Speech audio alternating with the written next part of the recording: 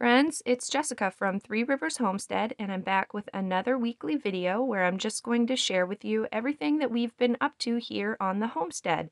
So in this video, we will be talking about winter sowing. That's a way of planting seeds um, that I'll explain later in the video. We also have an Azure Standard grocery haul. This was our first Azure Standard order since December, and this is restocking after the pantry challenge, so I'll show you everything that we got. And we also did a few canning and food preservation projects. So if this is something that interests you, why don't you stick around and we're going to get into it. We're just starting our week out here with some bread baking with my little helper Levi. He always enjoys helping me in the kitchen. I find that this age, five to six, is when they really enjoy helping. I had an empty salad container here, and so I decided to sow a few more chive seeds because you can never have enough.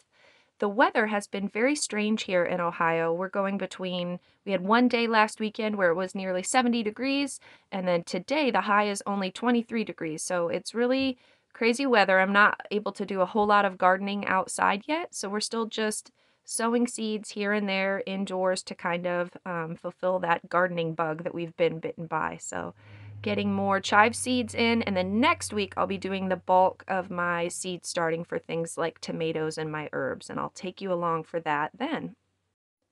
As mentioned, we're on our way this week to pick up our Azure Standard order. Our drop point is about an hour away from us, and this is the first time since I wasn't running errands during the pantry challenge. Whoa, gas got extremely expensive, so whew, that was um, a hefty bill getting up to our order. All right, we are at our Azure delivery point. Our drop point is about an hour away.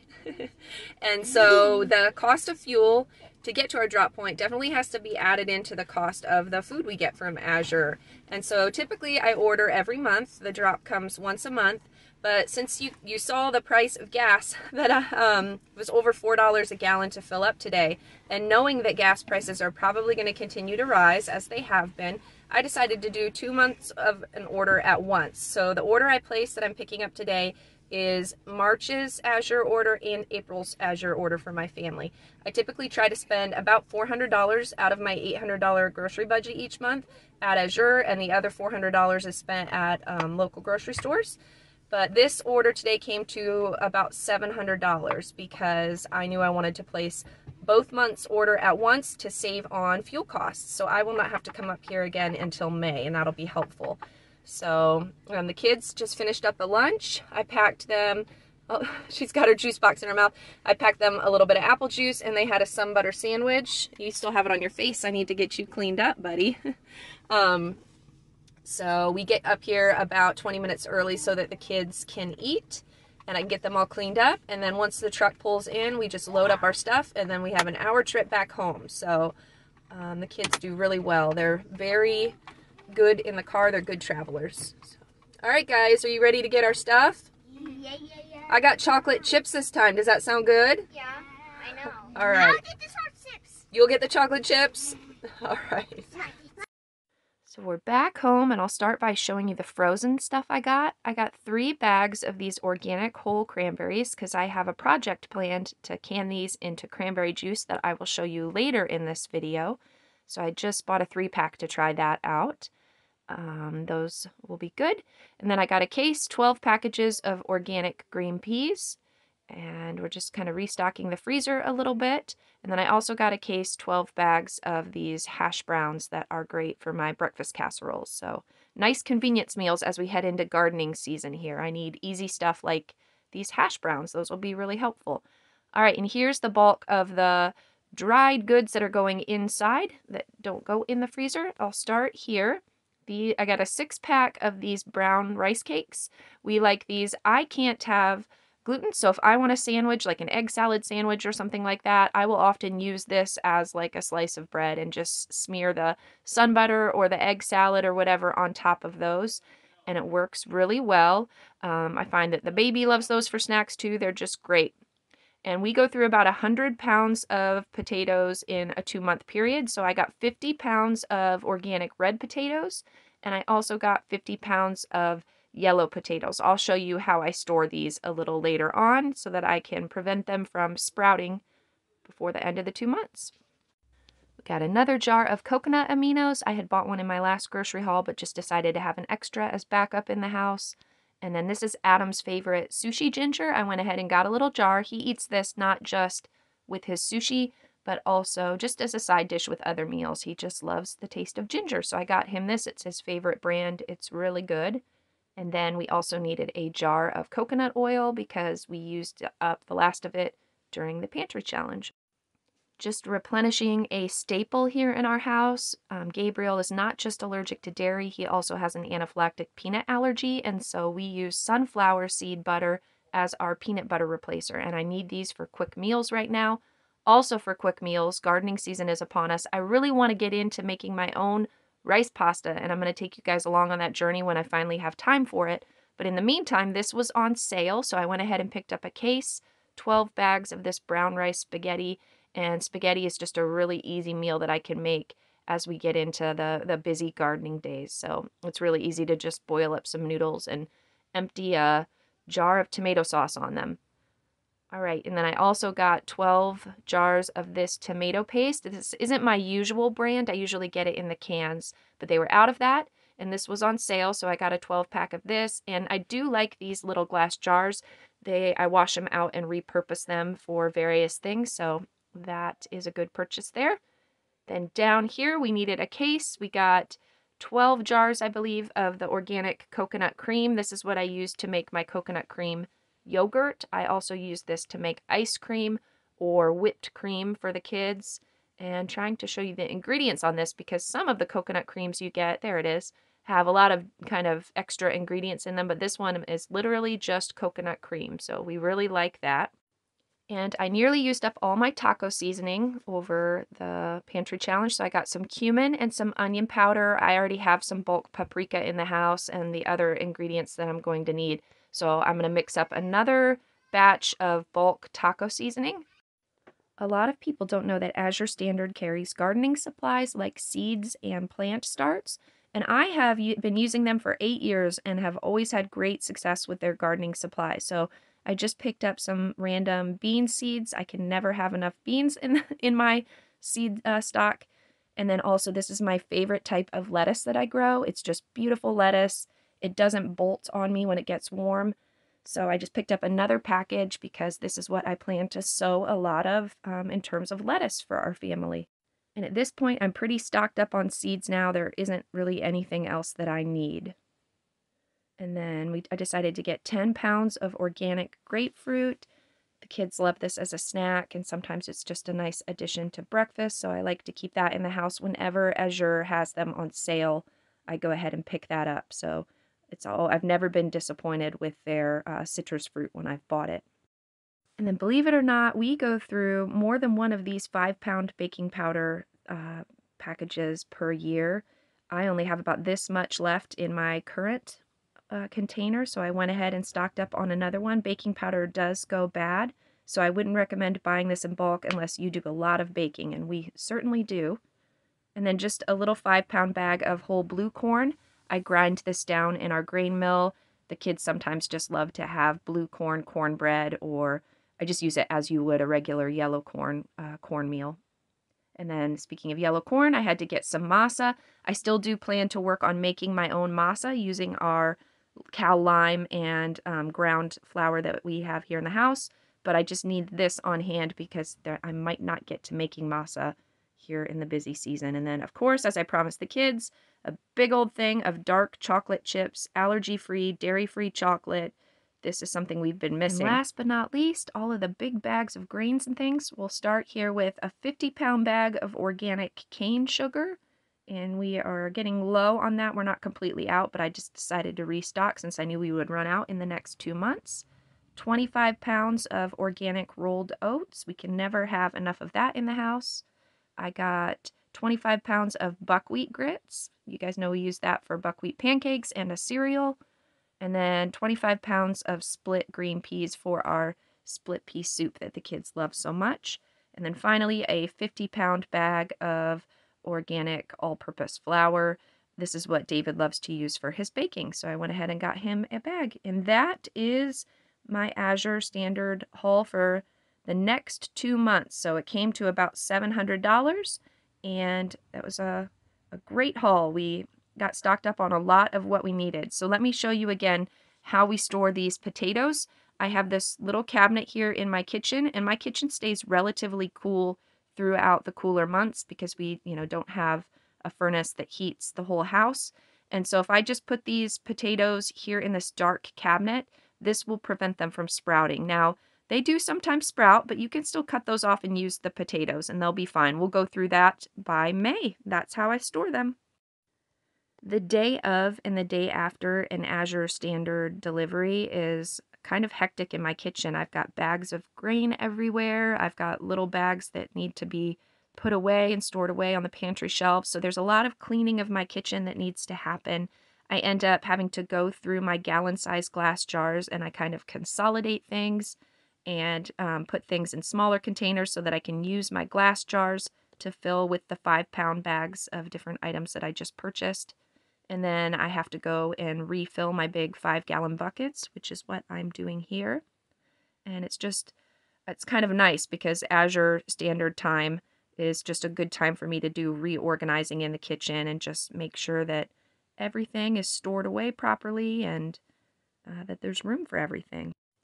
Remember, a lot of the bags of grains that we got, like oats and things, I will put in the freezer for at least two days to let it uh, kill any potential weevil or other pest eggs that could be in the grains and then we'll bring that out and thaw it before I put that into my buckets. So not everything goes directly into its permanent storage container.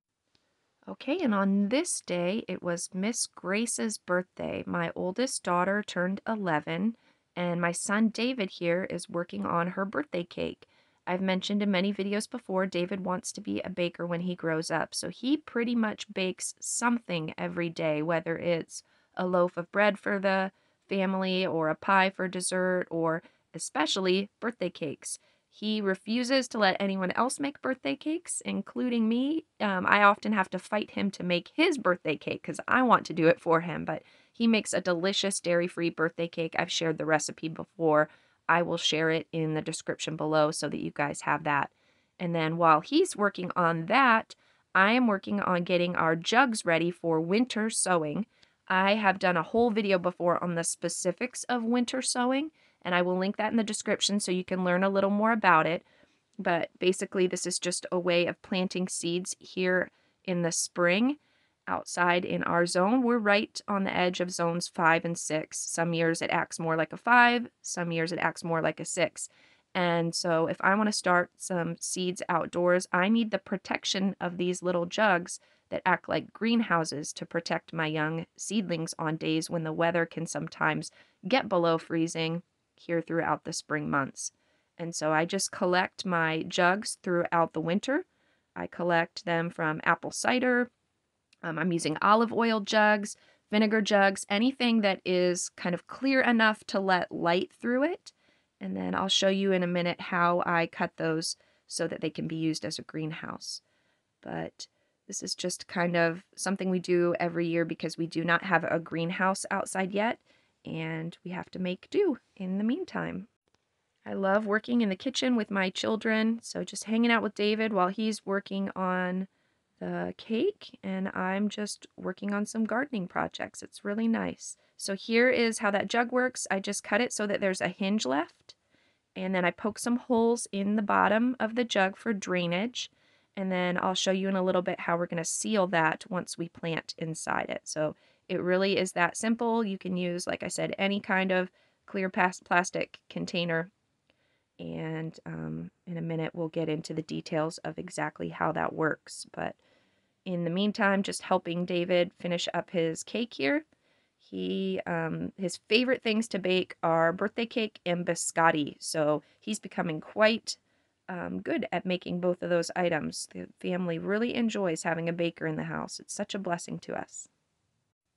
On Grace's birthday, the girls had gymnastics in the evening, and so we ate dinner before we left, and then David um, worked on finishing up the cake while we were gone. So when we came home, this is what we came home to a cute little cake for Grace's birthday, and we were able to sing happy birthday to her. Happy birthday, dear Gracie. Happy birthday to you. Yay! So we were being quiet because the baby was already sleeping. It was about 8 o'clock at night when we got home. So giving the kids a little bit of a sugar rush right before bedtime. But it's a birthday, so always do these special treats on birthdays. Okay, before we get to the winter sowing, let me show you this cranberry project that I said I was going to work on. So I got these three bags of frozen whole cranberries from Azure Standard. And what we're going to do is can these into juice. I have seven quart size jars here. And I'm going to do this the same way I do other juices, like uh, grape juice or I've done blueberries this way. I just put about a cup and a quarter to a cup and a half of cranberries per jar. And these are still frozen because they're going to thaw uh, before we can them. It's the same thing. This is the thing of grape juice that I made that just had whole Concord grapes in it, filled with water, and we canned it. And then when you want to use this juice, you just simply strain out the grapes and you're left behind with your juice. So this is the easiest way to can juice, and that's why I'm doing it this way with the cranberries. Now, when I want a cranberry juice cocktail, what I can do is use a quart of this grape juice and mix it with a quart of the cranberry juice, and that will sweeten my cranberry juice because we are not going to add any sugar to this. You could if you like a sweeter or a sweetened cranberry juice, but I just did the whole cranberries here and I added uh, some warm water to each jar to leave about an inch of headspace. And the cranberries are thawing in the warm water. And once they're completely thawed, you can see that it's already starting to turn a little pink. That pink will intensify over time. I'll show you. I'm going to add a jar. I'm using my ForJars canning lids. You can get a coupon code in the description if you need some canning lids. Go ahead and check that out. And then we're just getting these rings on the jars. And we're going to process these in the water bath canner for 25 minutes. That's all you need to do to have cranberry juice. And I'm just adding my distilled white vinegar to prevent that mineral buildup on my jars. Now let's talk about winter sowing while that cans. Alright guys, we're getting ready to do some winter sowing. I've done an entire video before on winter sowing and how I do that, and it'll be linked in the description. Basically, it's just taking these jugs that you saw me cutting up yesterday. We're to plant seeds inside of them. We're to tape up the hinge here and then set it outside. And this is going to act like a mini greenhouse. And so I typically do my brassicas and greens and things in these. So I can set them outside right now. We're going to have um, a high of only 23 degrees on Saturday our weather here in Ohio is kind of strange. We'll have days where it's 60 degrees out, and then the next day might be a day where it's only 30 degrees out. So what this will do is on the days where it's warm and sunny, those plants will get nice and warm, and the seeds will germinate, and then the little jug here will act like a greenhouse to protect the plants on the days where it's only, you know, 30 degrees out or 40 degrees out, and it might frost overnight and things. So um, this has been really effective for me in doing cold hardy plants. I haven't had the greatest success doing things like tomatoes and other warmer weather plants in them, but this is just the thing that I like to do to free up space in my grow light station that's right behind me here. I have a limited amount of space indoors and I like to save that for things like tomatoes and peppers and my onions that you've seen growing.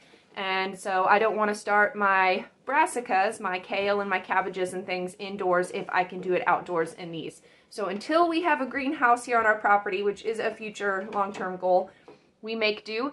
And it works out perfectly because I have a lot of these jugs. Um, you guys have seen before that I get a lot of apple cider from a local farm in the fall.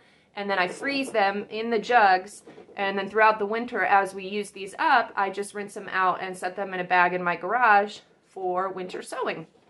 Um, in a normal year, I would start this process in January or February. Usually in January, I'm itching to plant some seeds. I'm just ready for gardening season to begin. And so I get out the jugs and this kind of satisfies that urge.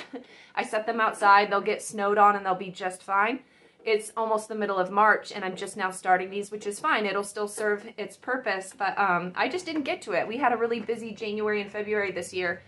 So I'm kind of late to the game in doing this, but not late in terms of the functionality of these, just late in my own timing. Um, like I said, normally it's to do it because I just have the urge to plant something early. Now I'm just planting them because it's crunch time and I need to get them need to get them done.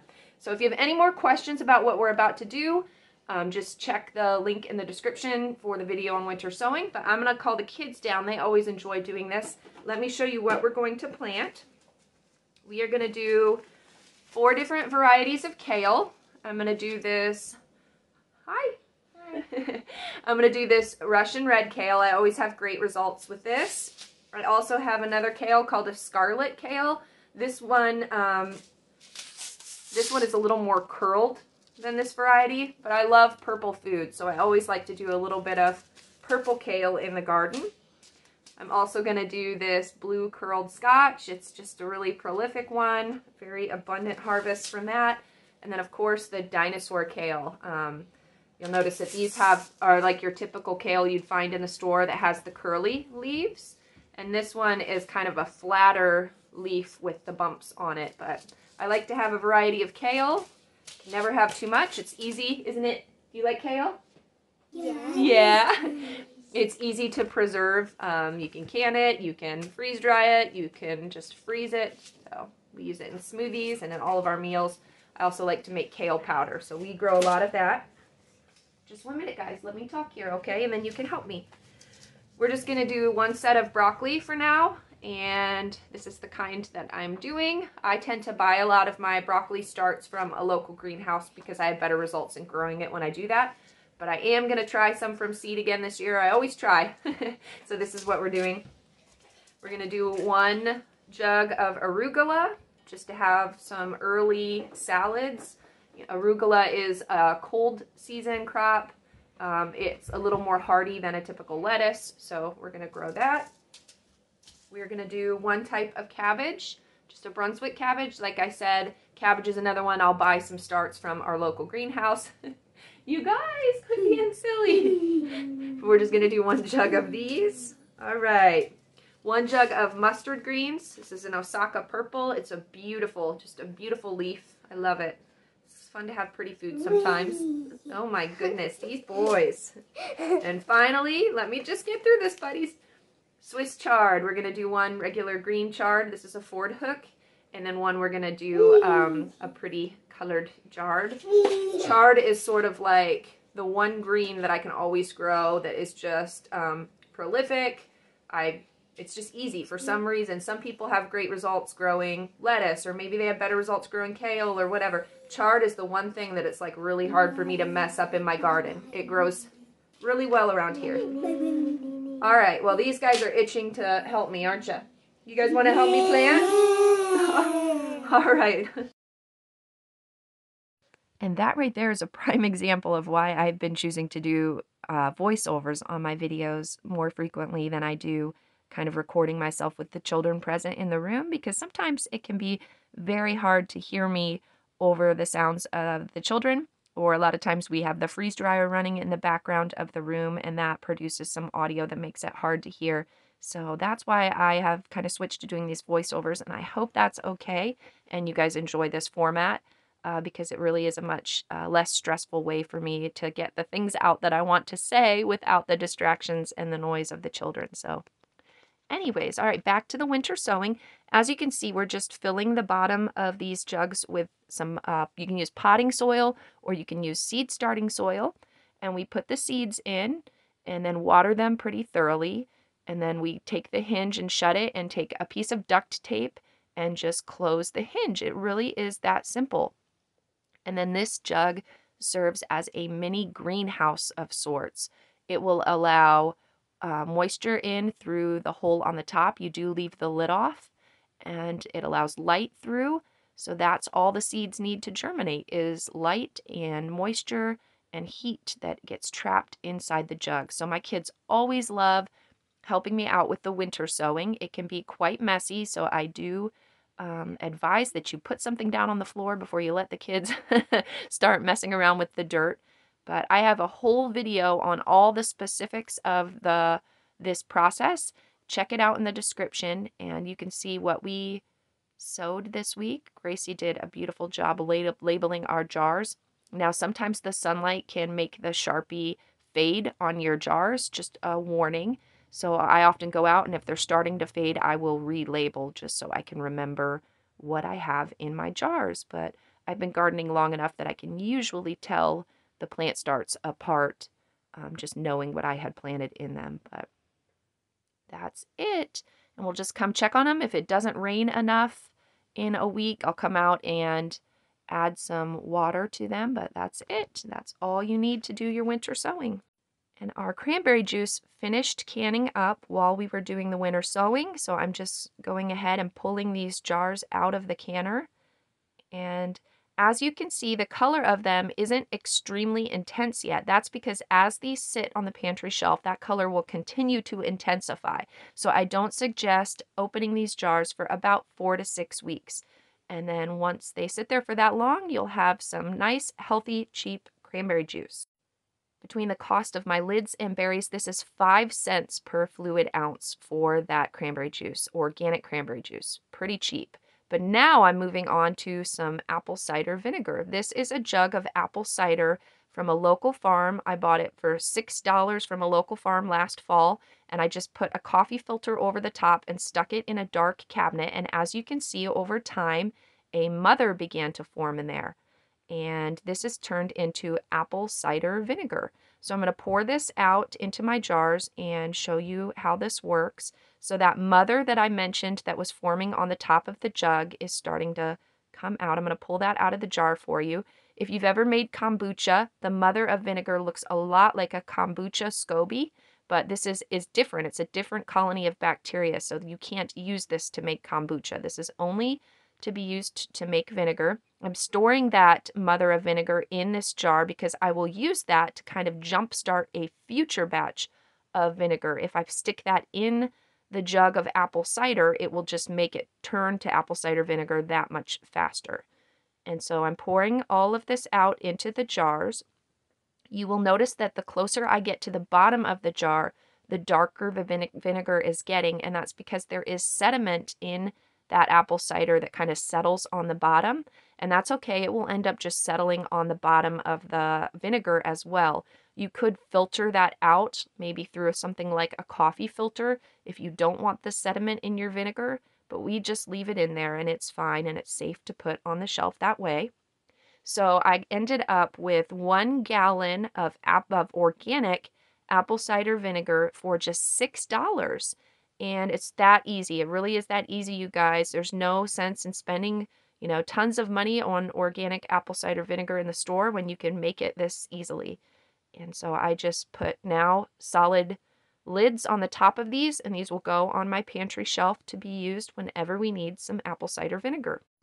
All right, and last but not least, I always have to share my weekly freeze drying adventures. So in last week's video, you guys know that I tried to freeze dry whole dates that I had just halved, and they were hard as a rock and still usable, but not what I wanted. I wanted to try to make some date sugar. So I'm wondering if I puree, as I did here, pureed the dates down into a paste and I freeze dry that, I'm hoping that that will make something that isn't quite as hard and that I will be able to then blend up into a date sugar after it freeze dries. We will see.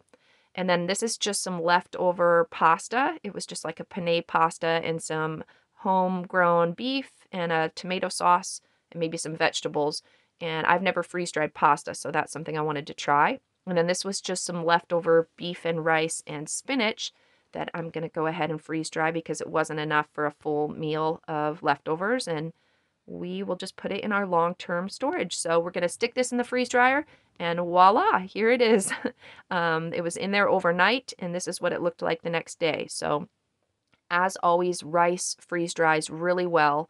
And the pasta turned out pretty amazing. So I'm going to show you in a minute. I'll rehydrate this and show you what that looks like when you eat it rehydrated. But this is what I was most interested in. My date puree turned into, it is quite hard, but not as hard as the uh, freeze-dried dates where you can still rip pieces off. And surprisingly, we just decided let's not even turn this into date sugar because it tastes like toffee. This freeze dried date pulp, I guess, or date paste ended up turning into something that tastes like a toffee or maybe a caramel, something like that. And so I'm letting Gabe try it and tell me what he thinks. And yes, he he really enjoyed it. It ended up being almost like a candy. And so I think I've decided that I want to do this now pretty regularly with dates because this is a refined sugar-free candy that I think the children will really enjoy eating. And I personally cannot eat any kind of refined sugar um, on the diet I use to manage my Crohn's disease. And so these dates can be like a candy that I can enjoy when I want a sweet treat. So this turned out to be a very pleasant surprise. We will not be using this for date sugar, although we could if we wanted to. We're going to use these as a candy. All right, so that was a success, you guys. Can't recommend that enough. Make sure you try this if you do have a freeze dryer. And if you want to learn more about freeze drying, you can check out the link to my Harvest Right freeze dryer in the description below. And um, they have a website with different sizes of freeze dryers available.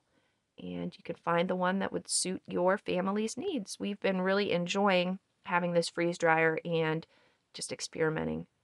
Okay, speaking of experiments, this was my pasta experiment. I have never tried rehydrating pasta, and I wanted to see what the texture was like after we did. And um, as you can see, the pasta kind of falls apart a little bit as you're stirring it around. But what I was really interested was the taste and the texture of the noodles, if it would be similar to, uh, you know, a cooked noodle. And let's see Gabe's reaction. So yeah, he said it was good, and he seemed to like it, so he would eat it. Although teenage boys tend to have hollow legs and will eat anything.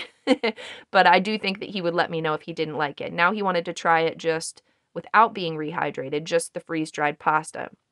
And he said it was good, um, but it was different. He much preferred it rehydrated, but he would eat it without being rehydrated. So now we'll see what the little guys say, see if they like it.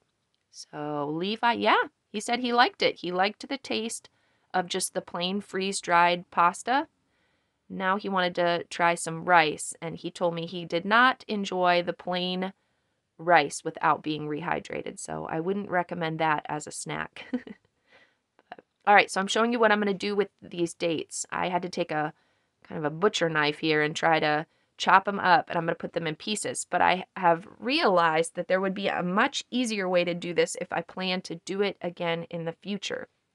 So while cutting it into these chunks worked just fine, I think what I would do is when I um, puree my date pulp down in my food processor, I'm just going to put it into little dollops on the parchment paper on my freeze dryer trays.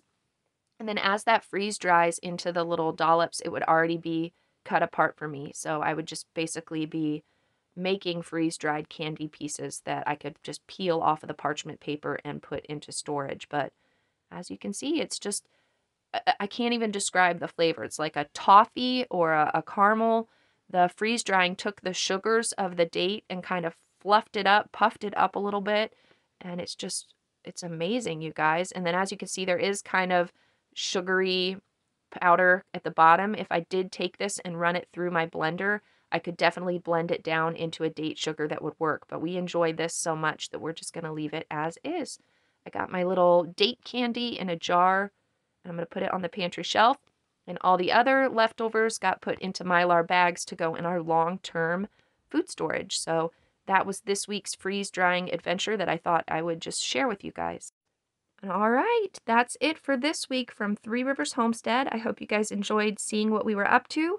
Next week, I'll be sharing more about the maple sugaring if the weather cooperates, and we're going to get into the garden a little more. So I hope you have a great week, friends. We will see you later. Bye.